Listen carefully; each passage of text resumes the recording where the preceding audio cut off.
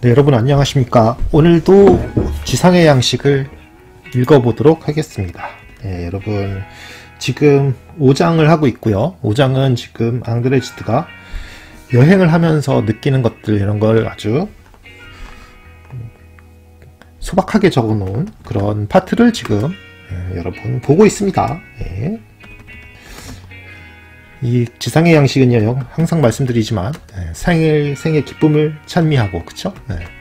그리고 여행의 즐거움이라든지 아니면 인생의 낙 인생의 기쁨 이런 걸 찾아다니는 그쵸? 그런 아주 긍정의 예.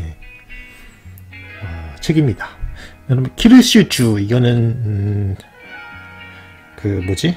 에, 그 아랍인가? 북아프리카인가 어딘지 잘 모르겠으면 어쨌든 저기 있죠 그죠?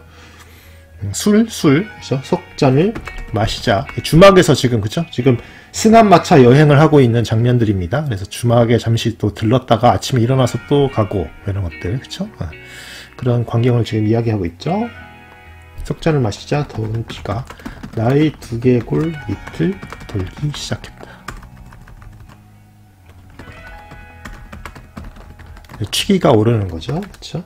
녹잔째는 가벼운 취기가 느껴지면서 모든 물건들이 가까워지고 팔만 뻗으면 손에 잡힐 듯했다. 자, 여러분 그 술을 마시면 기분이 고양되면서 그쵸? 이렇게 뭐라 그럴까 취기가 오르면 약간 대범해지기도 하고 그렇게 되죠. 어. 다섯 잔째는 내가 앉아 있는 방 안. 즉 세계가 마침내 숭고한 균형을 이루고 거기서 나의 숭고한 정신이 더 자유로이 움직이는 것 같았다. 어, 이제 조금 술이 많이 들어가기 시작하니까 그렇죠? 세계가 마치 자기 자신의 것이 된 것 같은 거죠. 그런데 이제 더 마시면 어떻게 됩니까? 이제 꼬꾸라지기 시작하죠. 어, 조금 피곤해지는 하더니 잠이 들어버렸다. 그래서 여러분 이거 있잖아요. 지금 그냥 자기가 어떤 일이 있었는지 장면 장면을 가끔씩 보여주고 있는 것 그런 느낌이죠. 어. 감각의 즐거움들은 거짓말처럼 불완전한 것이다. 그러니까 술을 마실 때마다 그쵸 점점 점점 뭐라 그럴까 이렇게 느낌이 변하는 것을 보면 이제 감각의 즐거움이라는 것은 불완전하다 이렇게 얘기를 하고 있죠. 음.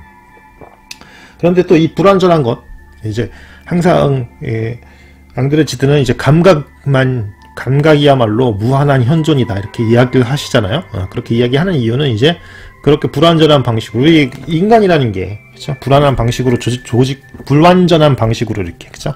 조직되어 있는 것이기 때문에 그 감각을 통해서 느, 끼는 그죠? 그 즐거움이야말로 현, 실제로 존재하는 유일한 것이다. 또 이렇게 또 말하고 있습니다. 네. 또 주막이에요. 어.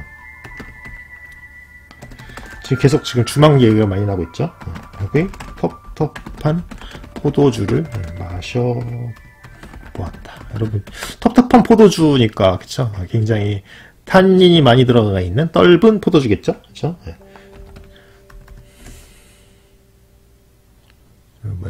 잠시만요. 어, 텁텁한 포도주를 마셔봤다 그러니까 아주 좀 시골 같은 대신 같아요. 맛과 함께 예, 되살아나서 깊은 낮잠이 들게 하는 술이다. 도수가 좀 높은가 보죠? 그죠? 깊은 맛이죠? 음. 나는 밤의 취기도 맛보았다. 그때 그대의 강력한 사상의 무게에 눌려 지구 전체가 비틀거리는 것 같다. 그쵸? 어, 이렇게 좀 너무 무겁다. 무거운 주제로 이제 이야기하는 그런 사람들이 있죠. 그래서 그런 이야기 심각해졌어. 그쵸? 어, 밤의 취기 나타나 나타나엘이요. 이거는 나타나엘은 이제 가상의 독자고요. 우리예요, 우리. 그쵸? 우리 지금 듣고 있는 우리한테 얘기하는 겁니다. 내게 도취를 말해 주리라. 도취, 그죠? 도취. 무엇인가에 강력하게 이제 취하는 것을 도취라고 그러죠. 어. 흔히 가장 단순한 만족도 나에게는 도취였다. 그러니까 그러니까 굉장히 지금 이거 말하고 있는 앙드레지드 자신이죠. 그 앙드레지드는 음, 아주 조그마한 만족에서도 그쵸 도치를 느끼는 아무래도 굉장히 감성이 풍부한 사람이죠. 그쵸 네. 항상 얘기하죠. 앙드레지드는 자두 하나에서도 그 작은 자두란 열매 하나에서도 감독을 느끼는 능력이야말로 그쵸 가장 중요한 능력이다 이렇게 얘기하잖아요. 음. 그토록 미리부터 나는 벌써 욕, 욕망들에 취해 있었던 것이다. 여기서 항상 앙드레지드의 이 지상의 양식에서 제일 중요한 건 욕망인데요. 제일 음, 중요한 단어는 욕망인데 여기서 욕망은 타락한 욕망이 아니라 그쵸? 항상 말씀드리지만 삶을 고양시키는 욕망들 그쵸? 어. 그런 것들을 이야기합니다. 어. 어떤 욕망들은 삶을 파괴시키기도 하죠. 중독이라든지, 그쵸? 예를 들어서 뭐 술, 담배, 마약, 뭐 그다음에 색, 색욕 이런 것들은 그쵸? 지나친 그런 것들은 사람을 망치죠, 그쵸? 자, 그 다음에 그리하여 내가 길 위에서 찾고 있던 것은 우선 주막보다는 나의 굶주림이었다. 그러니까 어, 지금 결핍이 욕망을 낳는다고 그러잖아요. 그렇죠? 그러니까 욕망이라고 하는 것은 결핍을 포함하고 있죠. 그래서 어, 양드레지드가 추구하는 것은 길 위에서 찾고 있던 것, 그러니까 여행을 하면서 찾고 있었던 것은 주막에서 그 주막이라고 하는 것이 이제 목, 목 갈증 이런 거를 풀어주는 그런 술이 있는 곳이지만 그 술 자체보다는 굶주림이었다. 이제 술을 술을 찾게 만드는 그 굶주림, 그 욕망 그 자체, 그렇죠? 왜냐하면 욕망이란 건 사람이 살아 있다는 걸 느끼게 해주는 거잖아요, 그렇죠? 도치 아주 이른 아침부터 걸었을 때 굶주림이 식욕이 아니라 일종의 어지러움일 때. 어, 굉장히 이제 너무 배가 고파가지고 진짜 막 진짜 허기 허기가 그냥 거의 뭐 그냥 이렇게 그죠 허기의 도취감 허기에도 도취감이 있다고. 결핍이 있고 뭔가 이 결, 열매를 원하는 그 자체에 벌써 도취감이 있다고 이 사람은 판단하는 건데 야, 이거 보통 사람은 이렇게 느끼기 힘들죠. 저든 예, 어렸을 때 어렸을 때 지금으로부터 한 20년 20 벌써 20년 전인가? 2021년이니까. 아 20년도 더 전이네. 그 군대에 있을 때 그쵸? 어, 그때 훈련병 때 이럴 때는 진짜 초코파이 단 거 먹고 싶어가지고 그쵸? 왜냐면 이렇게 격렬한 육체 노, 육체 그런 운동을 그죠 육체 활동을 안 하다가 갑자기 하니까 그렇죠 그러니까 굉장히 당이 땡기거든요 그 무엇보다 당이 땡겨요 그런데 초코파이 하나 그 먹고 싶어가지고 진짜 미쳐버리는 거거든요 근데 그 미쳐버리고 싶, 미쳐버리는 그거 가지고, 아, 이거에서 도치감을 느끼는 그런 사람 없죠. 그런 사람 없어요. 저도. 근데 이, 지금, 이, 지금, 앙드레지든 심지어 그러한 허기라든지 이런 것에서 도, 또 도치감을 느끼는 거죠. 왜냐면 그거 자체가 살아있다는 증거를 하는 거예요. 아, 참. 이거 진짜 뭐, 이건 뭐 거의 도인이죠. 이 정도 되면, 그죠? 어. 저녁이 되도록 걸었을 때, 목마름의 도취감. 여러분, 근데 지금 앙드레지드의 사상이 뭐냐면요. 목마름의 도취감이라는 얘기를, 허기의 도취감 이렇게 얘기하는 건 뭐냐면, 여러분, 굶주림이 심하게 되면 어떻게 되냐면, 사람은 죽어요. 그쵸? 목마름도 조금만 계속되면 3일만 물안 마셔도 죽, 죽죠, 인간은. 그러니까 목마름이나 굶주림은요, 죽음을 내포하고 있는 어떤 그러한, 뭐죠? 그런 욕망들이에요, 죽음. 그런데 항상 앙드레 지드는 뭐라고 얘기하냐면 죽음을 배경으로 해서야만 삶이 도드라진다라고 얘기를 하거든요. 항상 죽음을 생각하게 만드는 만들고 그 죽음을 한시라도 잊지 말아라라고 얘기합니다. 그렇죠? 뭐 메멘토 몰인가 뭐 그런 얘기도 있죠. 그런 것처럼 에, 목마름과 굶주림에서도 그 어떤 죽음의 그런 채취를 맡을 수 있는 거죠. 그리고 그것을 통해서 지금 살아있음이 더 강조가 되기 때문에 도취감을 가지게 됐다. 이렇게 또 해석할 수 있습니다.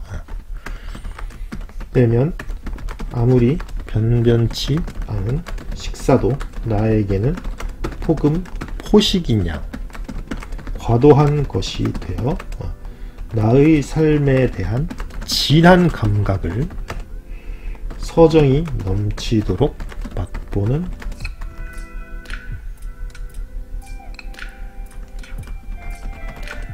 맛보는 그쵸? 여러분 그쵸? 어. 그쵸 진짜 그뭐 시장이 반찬이라고 그죠? 이렇게 배가 고프면 뭐 그냥 진짜 그 어떤 작은 반찬만 있어도 맛있게 먹을 수 있잖아요. 그죠? 그렇게 되면 이제 에, 삶에 대한 진한 감각 아까 전에도 얘기했지만 살아있다는 것에 대한 감각을 일깨우기 때문에 그죠? 그래서 그래서 그러려 도치가 된다는 얘기죠. 네, 나의 감각들이 가져다주는 쾌락 덕분에 그 감각들에 닿는 하나 하나 하나의 물체는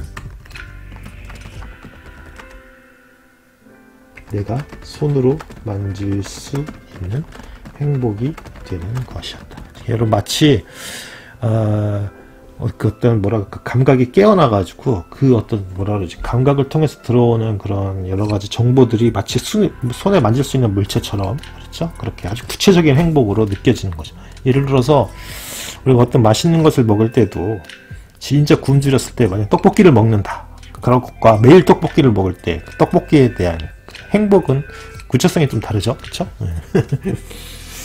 그런 것처럼요. 나는 도치가 생각들을 약간씩 변형시켜 놓는 것을 경험해 보았다. 그쵸? 도치가 생각들을 변, 자신의 사상까지, 그죠? 들이 마치 망원경을 통해서 나오듯이 술술 나오던 어느 날이 생각난다. 이거는 여러 가지 의미로도 읽힐 수 있는데요. 여러분 이렇게 도치 상태가 행복한 여러분들 뭔가를 이렇게 창조하는 사람들이라면은 뭔가 뭐 글을 쓰시거나 또 예술을 하시거나 뭐 그렇지 않, 않더라도요, 그렇죠? 그 아이디어라는 것들은요, 그렇죠? 어, 진짜 도취 상태에 있고 행복한 상태에서 그냥 막 진짜 튀어나오듯 머릿속에서 막 튀어나오듯이 그렇죠? 그렇게 나올 때가 있습니다. 여러분 이거는 아마 낭만주의 예술가들 같은 경우에는 진짜 뭐 예를 들어서 슈만이라고 하는 사람이 있습니다. 슈만 로베르트 슈만이라고 하는 유명한 작곡가가 있죠. 그분은 뭐 클라라 비크라고 하는 자신의 예, 나중에 클라라 슈만이 되죠. 예, 부인이 될 될 그 여인을 만났을 때 진짜 창의력이 뭐 그냥 막 그냥 폭발하듯이 튀어나오죠. 막 가곡고 뭐 엄청나게 좋은 가곡들과 피아노 곡 같은 걸 막 써댄단 말이죠. 그죠? 그러한 걸 생각하시면 될 것 같아요. 마지막에서 두 번째 생각이 언제나 벌써부터 가장 오묘한 듯해 보였다. 마지막에서 두 번째 생각이 어, 벌써부터 가장 오묘한 듯. 근데 그 다음에 어, 또 마지막 생각은 더 오묘하고 더 오묘하고 이렇게 죠 그리고 그 생각에서 더욱 교묘한 생각이 나오곤 했다. 진짜 그 아이디어가 폭발하는 순간이죠. 어. 그날에는 생각들이 어찌나 동글동글해지는지 저 그냥 저절로 구르도록 내버려 둘 수밖에 없었던 생각이 난다. 여러분 이거 이런 거는 저기 그 유명한 그 작가들의 이야기를 들어보면요. 어, 이런 얘기를 하죠. 어, 자기는 그냥 그 뭐지 그 주인공들이 그냥 스스로 행동하는 것 같고 자기는 그거를 뒤쫓아서 쓰느라고 바쁘다고 그쵸? 네, 이제 그러한 경지인 것 같습니다. 네, 자, 이런 거 예. 어떤 날에는 어, 생각들이 하도 신축성을 띠게 되어 어느 것이나 음, 차례로 다른 모든 것의 형태를 띠게 되고 또 그 반대도 마찬가지였던 생각이 난다. 그쵸? 그러니까 이렇게 생각이 구체화되는 모습들. 그쵸? 또 어떤 때는 두 개의 생각이 평행선을 이루면서 그렇게 영원 무궁토록 커, 커가려는 것 같기도 했다. 그러니까 진짜 그야말로 생각들이 엄청 도취 상태이기 때문에 그쵸? 어. 자기 자신이 더 낫고 더 위대하고 그쵸? 더 존경할 만하고 더 덕망이 있고 더 부유하다고 믿게 만드는 그러한 도치감도 나는 맛보았다. 여러분, 예. 이렇게 그죠? 자기 자신에 대한 자긍심이라든지 이런 것을 가지게 되는 경우도 많이 있습니다. 그쵸? 그런 도치감을, 그쵸? 음. 하지만 도치감은 또 그만큼 독이 될 수도 있기 때문에 조심해야 되죠. 음. 근데 지금 이 그, 그, 어, 앙드레지드가 얘기하는 것은요, 감각이 깨어나서 도치 상태가 되고, 그것은 생의 감각을 일깨우는 도치감이고요. 그쵸? 그래서 머릿속에 수많은 생각, 아이디어들이 나와 나와서, 그쵸? 창의성의 어떤 폭발을 일으키고, 그쵸? 근데 이 창의성이 폭발하게 되면 어떻게 됩니까? 그러면 자기 자신만이 다른 사람은 대체할 수 없는 자기 자신만이 할 수 있는 그쵸? 그러한 것들을 할 수 있게 되는 거죠. 가을 이제 다 들에는 밭 갈아놓은 커다란 땅들이 있었다. 지금 그 여행이 이제 가을로 접어들었죠? 밭고랑에서 김이 피어올랐다. 지친 말들은 발걸음이 더욱 느려졌다. 이것도 그거네요. 그죠? 거의 저녁 무렵에 마치 처음으로 땅 냄새를 맡아 보는 것처럼 매일같이 저녁은 나를 취하게 했다. 그러니까 진짜 매일매일이 평범한 저녁인 것 같지만 양드레지드는 거기서 매일매일 새로운 걸 느끼는 거죠. 항상 날마다 새롭게, 날마다 새롭게 새롭게 살자 이것이 앙드레지드의 어, 모토입니다. 그건 늘 말씀드렸죠. 음. 그럴 때면 나 나는 어, 숲 기슬의 낙엽에 덮인 언덕에 가 앉는 것을 좋아했다. 언덕에서 그죠? 구워볼 수 있는 그죠?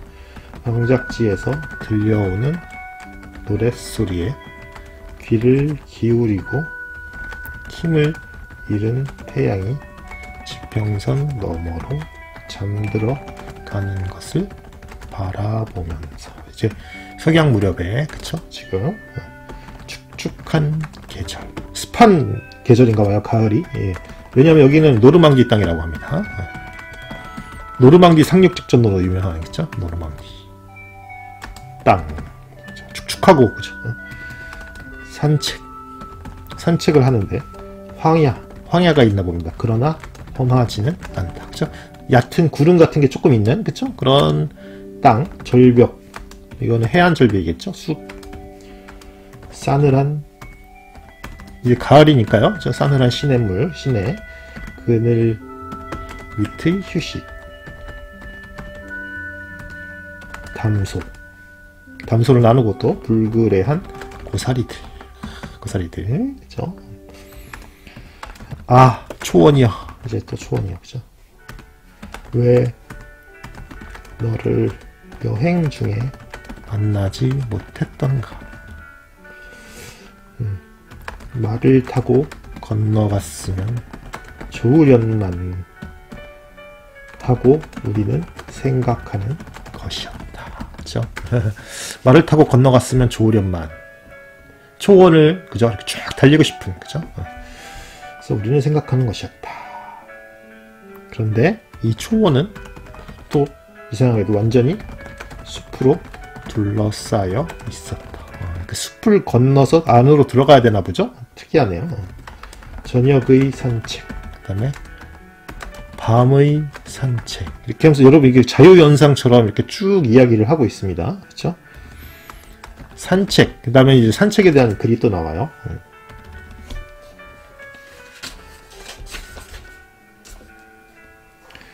존재한다는 것 아마 살아있다는 것이라고도 해석할 수 있겠죠. 나에게는 굉장히 쾌락적인 것이 되었다. 삶의 모든 형태를 나는 맛보고 싶었다. 이거는 저희 서문에서도 나오는 이야기죠. 삶의 모든 형태. 그리고 모든 인간이 되어보고 싶었다. 모든 인간을 이해하고 싶었다. 근데 그 모든 인간을 외부에서 바라보는 게 아니라 그 진짜 그 사람들이 되고 싶었다라고 얘기를 하죠. 예. 아마 그래서 이분이 되게 오묘한 소설을 잘 쓸 수 있었던 것 같습니다. 그렇죠? 예. 식물들의 삶을 와 이것도 물고기와 식물들의 삶까지도 그렇죠? 예. 인간의 삶뿐만 아니라 그렇죠? 예. 모든 감각의 즐거움 중에서도 나는 촉감의 즐거움이 제일 탐났다. 자, 여러분 촉각이라는 것만큼 직접적인 감각이 없잖아요. 그렇죠? 어. 여러분 이 인간의 사랑이라는 것도 결국 촉각으로 그죠 귀결되죠. 어, 그죠? 사랑하는 여인과의 스킨십 이런 것 그죠? 이런 게 참 가장 그죠? 아름다운 감각 중에 하나죠. 음. 가을날 벌판에 소나기를 맞으며 몇 따로 서 있는 나무. 외로운 나무네요, 그쵸? 어. 벌겋게 물든 잎새들이 떨어지고 있었다. 굉장히 을신연스러운 광경인데, 근데 그, 그 안에서도 또 여러 가지 또 아름다움들이 있겠죠? 그쵸? 어. 잎이까지 젖은 땅 속에서 물이 오랫동안 그 뿌리를 네, 적셔줄 것이라고 나는 생각했다. 그렇죠? 잎새는 떨어지고 있지만 그 아래에 뿌리들은 그렇죠? 물이 물을 흡수하는 그런 거. 그 나이에 나의 맨발은 젖은 땅 웅덩이에 찰랑거리는 물결 선을 하거나 미지근한 진흙의 촉감을 즐겼다. 여러분 지금 가장 좋아하는 것은 그 감각의 즐거움 중에서 가장 중요한 것은 촉감, 촉감이라고 그랬으니까 촉각, 그렇죠? 그러니까 돼지를 발로서 직접 느끼는 그런 느낌이었겠, 그런 느낌이었겠죠? 내가 왜 그렇게 물을 그리고 특히 물에 특히 특히 물에 젖는 것을 좋아하는 좋아했는지 예. 나는 알고 있다. 물은 공기보다도 더 뚜렷하게 가지각색으로 변화하는 그 온도의 차이를 즉각적으로 느끼도록 해주기 때문이다. 자, 여러분, 그, 참, 저도 그래서 이렇게 직접 바다 같은 데 가면요. 우리 근데 여기 지금 남해 저는 장흥에서 살고 있기 때문에 좀 내려가면 음, 여기는 물을 직접 만져볼 수가 있어요. 그러니까 항구 같은 것도 굉장히 그 안에 이렇게 계단으로 내려갈 수 있어서 거기 이렇게 물 근처로까지 갈 수 있습니다. 서로 이렇게 담가 보면 그러면 이제 조금씩 따뜻해지고 있다는 거를 그 수온도 그쵸? 느낄 수가 있거든요. 예. 그런 촉각 그쵸? 아 저는 진짜 그게 너무 행복합니다. 나는 저는 바다에서 사는 게 이렇게 아 이렇게 진짜 바다에서 사는 건 삶을 굉장히 진짜 뭐 어떻게 만들어주냐면 굉장히 고양시켜주는 것 같습니다. 예. 아주 진짜 매일매일 바다에 가고 싶어요. 저는 그리고 5분만 예, 걸어가면 갈 수 있기 때문에 나는 가을이 촉촉한 바람을 좋아했다. 그렇죠? 그러니까 습기가 찬 바람도 그렇죠? 바람도 일종의 촉감이잖아요. 뺨에 와닿는 그렇죠? 그 촉촉한 바람. 그래서 비 많은 노르망디 노르 아 비가 많은가 보죠 노르망디는 야참 그렇죠? 음, 굉장히 아 좀 다 이렇게 보면은 을신연스럽지만 또 아주 아름다운 그런 생각들이 나오게 합니다. 라로크 이건 뭘까요? 라로크는 뭐죠? 무슨 뜻인지 모르겠습니다. 아무래도 그거 아닌가요? 음, 지방 이름이겠죠? 음. 짐수레들이 향기로운 수확물을 싣고 돌아왔다. 그래도 가을인가 보죠? 어. 헛가는 건초로 가득 찼다. 비탈에 부딪히고 술의 자국을 따라가며 흔들리는 무거운 짐수레들. 농촌이죠, 여기도? 얼마나 여러 번 너희는 풀을 말리는 그 거친 젊은 녀석들과 함께 건초 더미 위에 누운 나를 들에서 싣고 돌아왔던가. 그러니까 짐수레를 지금 짐수레한테 얘기하는 거죠. 짐수레가 자기를 아주 건초에서 잠든 젊은 녀석들을 그죠? 그러니까 그 건초 위에서 이렇게 그죠? 이렇게 또 이렇게 마차 생각해 보세요. 건초가 가득 이렇게 올려 있는데 위에서죠? 그렇게 또 실려서 오겠죠. 그렇죠? 음. 아, 나는 언제 다시 집가리 위에 누워 저녁이 오는 것을 기다리게 될 수 있을까? 지금은 지금 그죠? 도시에 있나 보죠? 네. 지금 그걸 회상하면서 그죠? 굉장히 아주 아름다운 그런 광경을 지금 생각을 하고 있네요. 그죠? 그 다음에 또 저녁이 오고 있었다. 우리는 헛간에 이르렀다.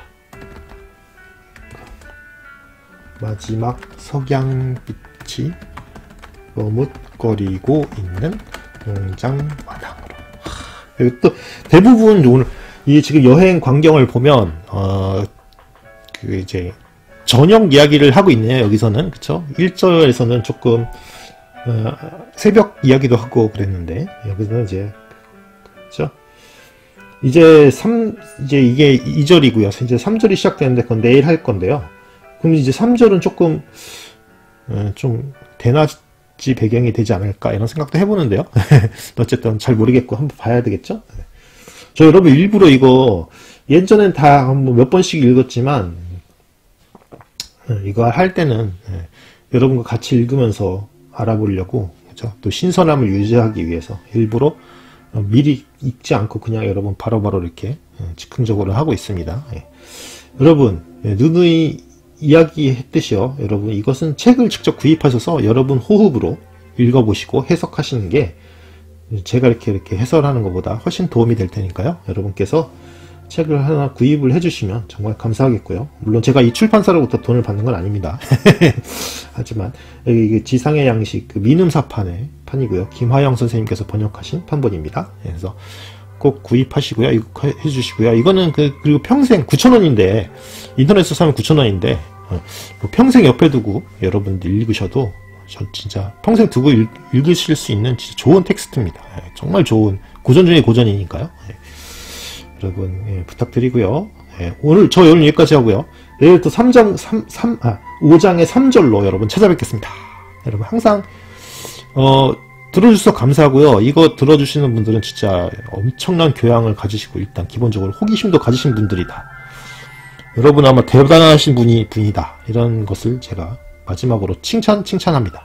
그리고 항상 감사하고요. 네, 내일 뵙겠습니다.